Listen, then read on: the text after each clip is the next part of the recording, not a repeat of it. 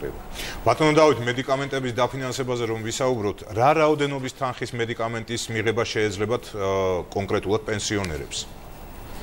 აა თუ ჩვენ აი წარმოვიდგენთ რომ პენსიონერების სრული რაოდენობიდან რაც დაახლოებით 700000 შეადგენს მათ აბსოლუტურ უმრავლესობას ოღონდ არა ყველა საბედნიეროდ აქვს ქრონიკული დაავადებები ამა თუ იმ ტიპის და ჭირდებათ მედიკამენტების შეძენა.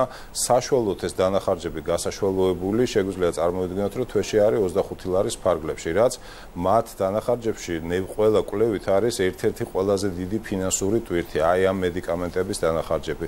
აი ამ ჯგუფს ეს დანახარჯები რეალურად პრაქტიკულად გაუქრებათ ექნებათ მაქსიმუმ 1 ლარის განმავლობაში დასახარჯი თვის საკმარისი მედიკამენტების საყიდლად.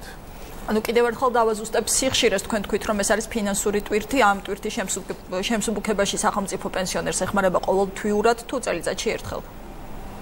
მუდმივად ქრონიკული დაავადება არის ისეთ ტიპის, რომელსაც მუდმივად მთელი ცხოვრების განმავლობაში ჭირდება მედიკამენტის ამა თუ იმ მედიკამენტის მიღება, ამისთვის რომ მდგომარეობა იყოს კონტროლირებული.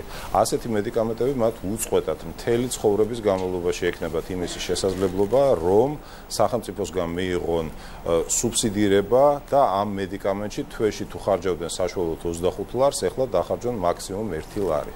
და ესე იქნება უწყვეტად.